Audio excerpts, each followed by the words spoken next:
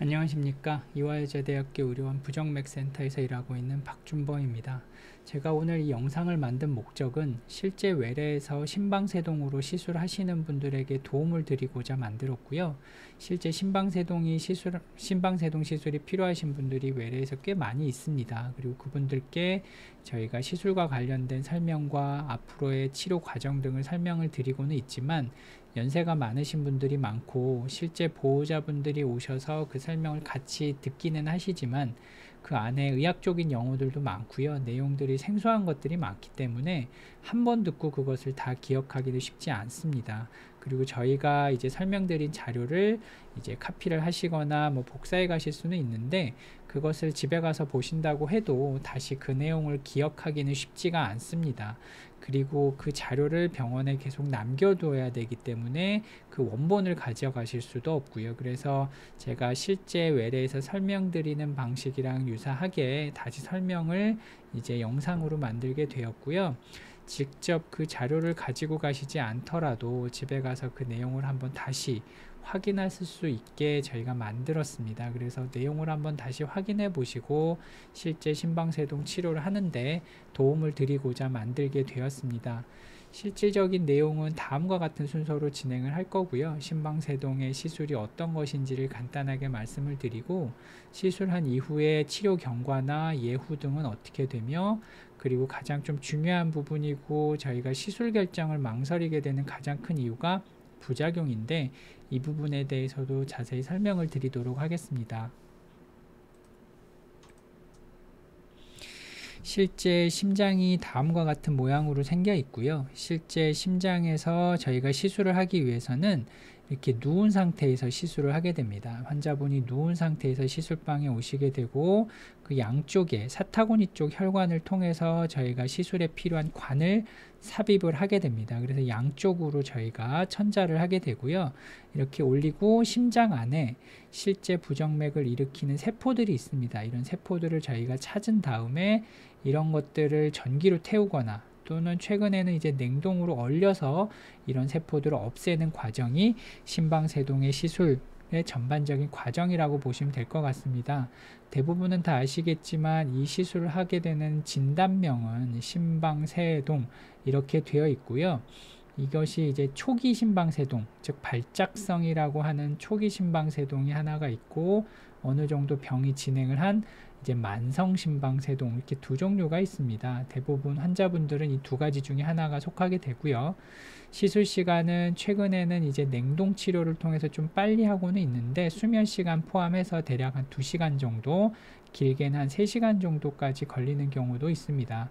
그리고 전신 마취는 하지 않고요. 이제 수면 마취를 하게 됩니다. 수면 마취가 이제 깊게 마취를 하는 것은 아니기 때문에 이제 중간중간 환자분이 통증이 있거나 그럴 때는 깨실 수도 있습니다. 그래서 저랑 대화를 하시게 되고요.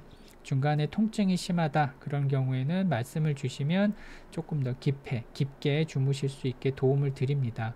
입원 기간은 대략 2박 3일에서 3박 4일 정도 입원을 하시게 되고 시술 전날 사전 검사를 한 이후에 시술 한 당일날은 약 6시간 정도 이제 양쪽 사타구니 혈관 시술을 했기 때문에 지혈을 위해서 6시간 정도는 누워 계셔야 됩니다. 그리고 다음날 오후 늦게 퇴원하시거나 아니면 보통 이틀 후에 퇴원을 하시게 됩니다. 그리고 시술하신 당일날은 저희가 중환자실을 가시는 분들도 간혹 있고요. 이제 모니터링을 위해서 병실에서 이제 모니터링을 계속 붙이고 계신 분들이 있는데 뭐 상태가 안 좋거나 그런 건 아니고 시술 이후에 바로 생길 수 있는 좀 위험한 부작용들이 생길 수 있기 때문에 이런 것들을 모니터링을 하고 혹시나 생겼을 경우에는 즉각적인 조치를 취할 수 있도록 하기 위해서 저희가 이제 모니터링을 하거나 중환자실을 가시게 됩니다. 그리고 이때 생길 수 있는 부작용 들을 잠시 말씀을 드리면 이 부분들이 좀 무서운 부분들이긴 한데 그 내용마다 다르긴 하지만 약 한 천명에 한 명 정도 한 0.1% 정도 내외에서 이런 부작용이 생길 수 있다라고 이해를 하시면 되고요. 뒤에서 잠시 자세히 말씀을 드리겠지만 이제 위험한 것들, 주요한 것들만 잠깐 말씀을 드리면 서두에 이 심장 안에서 심장은 계속 박동을 하고 있기 때문에 심장 안에서 이러한 부정맥을 일으키는 세포들을 하나하나 없애다 보니까 심장에 이제 구멍이 나는 경우가 있습니다. 이런 경우로 우리가 심장에 천공이 생긴다라고 얘기를 하는데 이런 경우에는 조금 위험한 일이 생길 수도 있고요. 또 하나 이제 우리가 음식을 먹으면 식도라고 하는 길을 따라 음식물이 내려갑니다. 이게 음식물이 내려가는 통로가 되는데 이 통로가 다 불행하게도 이 심장과 이렇게 딱 맞닿아 있습니다. 그렇기 때문에 이 구멍이 우연히도 이 식도를 통해서 구멍이 나는 경우가 있는데요. 이런 것들을 우리가 식도하고 사이에 구멍이 난다 이렇게 얘기를 합니다. 이런 경우에는 이 구멍이 저절로 막히는 경우가 없기 때문에 이런 경우에는 이제 개흉 수술이라 그러죠. 심장을 열고 이제 꼬매 구멍이 난 부분을 꼬매야 되는 시술을 하시는 경우들이 있는데 이런 경우에는 조금 위험하실 수도 있고요. 이런 부작용들은 시술하고 나서 보통 2주, 3주 한 달까지도 생기는 경우가 있기 때문에 모니터링이 좀 필요합니다.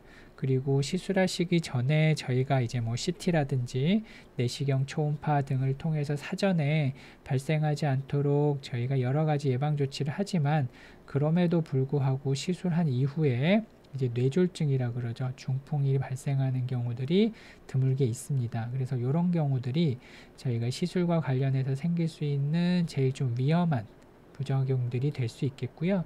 이런 것들을 사전에 예방하거나 생기더라도 바로 조치를 취할 수 있도록 저희가 하루 정도는 중환자실에서 모니터링을 하는 이유가 되겠습니다.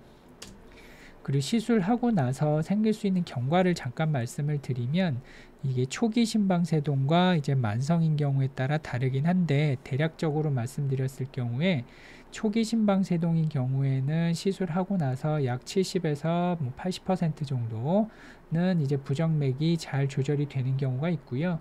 이 경우에 이제 부정맥 약을 기존에 드시던 거를 같이 드시게 되면 치료 성적은 조금 더 올라갈 수 있습니다. 하지만 이제 만성으로 부정맥이 좀 진행한 이후에 시술을 하시게 되면 그 효과가 좀 많이 떨어집니다. 대략 한 60에서 70% 정도 이게 만성인 경우에 한해서 그렇고요. 이런 경우에는 이제 약을 지속적으로 같이 복용하는 경우들이 많습니다. 그리고 그 중에는 약 20% 정도 시술하신 분들의 약 20% 정도에서는 1, 2년 후까지 약을 같이 복용하고 나서도 부정맥이 재발하는 분들이 있는데요. 이 경우에는 보통 이제 재시술 까지도 한 시술하신 분의 20%에서는 경험하시는 분들이 있습니다. 그래서 재시술이 필요하신 경우에는 저희가 시술 이후에 약을 쓰고 여러 가지 치료를 병행을 하게 되고요. 그 이후에도 부정맥 증상이 계속 증성이 지속이 되는 경우에는 재시술을 권유해 드리기도 합니다. 하지만 이 경우는 이제 나중에 몇 개월 또는 1, 2년 후에 발생하는 것이기 때문에 외래에서 경과 관찰을 하면서 그때 또 말씀을 드리도록 하겠습니다. 그래서 지금까지 두서없이 말씀드린 것들을 간략하게 정리를 해드리면요. 심방세동에 대한 고주파 절제술 또는 냉동풍성 절제술이라는 두 가지 시술을 병행을 하게 되는데 어떤 시술을 하실지는 환자분에 따라서 다릅니다. 그래서 시술방에서 저희가 이제 고주파 절제술을 하실지 냉동풍선 절제술을 하실지 말씀을 드리게 되는데 어떤 시술과 관련 없이 시술의 성적은 거의 비슷합니다. 그래서 발작성, 즉 초기인 경우에는 약 70에서 80%, 만성인 경우에는 약 60%에서 70% 정도 부정맥 없이 잘 생활하시는 분들이 있고요. 이제 뭐 성공했다, 뭐 이런 거의 기준은 대부분 시술한 이후 3개월까지는 부정맥 증상이 반복되는 경우들이 꽤 있습니다. 하지만 3개월 이후에도 부정맥이 발생을 하였다라고 하면 보통 이제 재발을 했다라고 얘기를 하는데 이 경우에도 보통 이제 부정맥 약을 다시 시작한다거나 하면 시술하시기 전에 비해서 부정맥 없이 생활하는 비율이 상당히 높아집니다. 그리고 시술 이후에 그 부정맥 약을 같이 유지하는 경우에는 이제 정상적으로 부정맥 없이 생활할 확률이 위에 말씀드린 것부터 약 10% 정도 올라갈 수가 있고요. 그리고 아까 말씀드린 것처럼 만성이신 경우에는 시술을 한 이후에도 약을 쓰지만 또 재발하여서 약 20%에서는 이제 두 번째 시술을 하시는 경우들도 있습니다. 그리고 심방세동이 재발 없이 잘 유지되는 경우 뭐 시술 이후에 약을 쓰거나 해서 약 70에서 80% 정도는 부정맥 없이 생활을 잘 하시게 되는데요.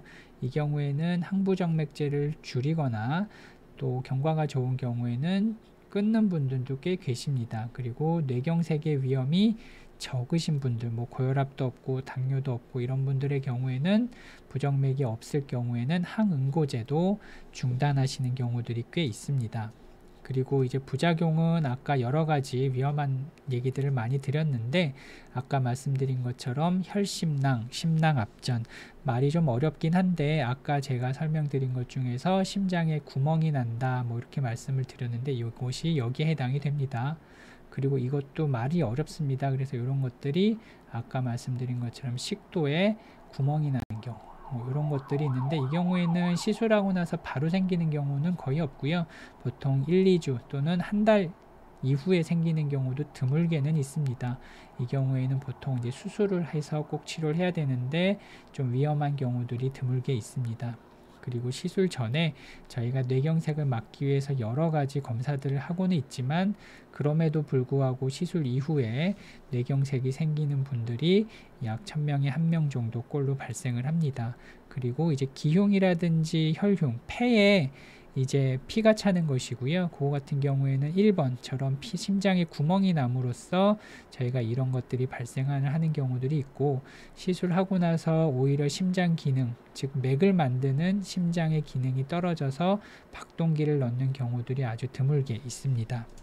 그리고 그 외에 그 양쪽 사타구니 쪽으로 시술을 하기 때문에 이쪽으로 멍이 든다든지 뭐 염증이 생긴다든지 하는 경우들이 있는데 이런 경우는 대부분은 호전이 됩니다. 시간이 지나면서 호전이 되는 경우가 많기 때문에 뭐 큰 문제는 없을 걸로 생각이 되고요. 또 심장 안에서 부정맥이 있는 부위를 저희가 이제 치료를 하다가 그 폐혈관 부분들이 좀 좁아져서 이제 환자분들이 숨이 차다거나 숨이 가쁘다거나 하는 게 오히려 심해지는 경우들이 있는데 이런 경우는 시간이 지나면 호전이 되는 경우들이 많습니다. 그리고 시술 이후에 가슴 통증이 좀 있고 뻐근하고 오히려 숨을 들이쉬거나 내쉴 때 통증이 있다라고 하시는 분들이 있는데 이런 경우도 심낭염이 발생을 하는 경우인데요. 이런 경우에도 보통 약물 치료를 하거나 시간이 지나면서 호전이 되는 경우들이 많이 있습니다. 그래서 가장 우리가 우려되는 요 위쪽에 중증의 부작용 같은 경우에는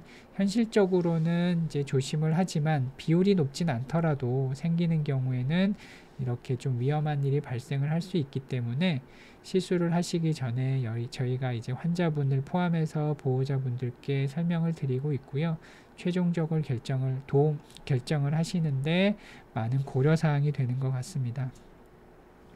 이상 심방세동과 관련된 시술을 말씀드렸고요. 환자분들의 심방세동 시술 결정에 많은 도움이 되셨으면 하는 바람입니다. 감사합니다.